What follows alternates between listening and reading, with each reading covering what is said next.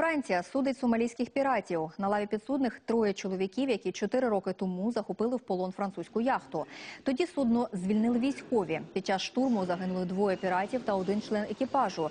Чоловік, який подорожував на яхті разом із дружиною і трьома дітьми.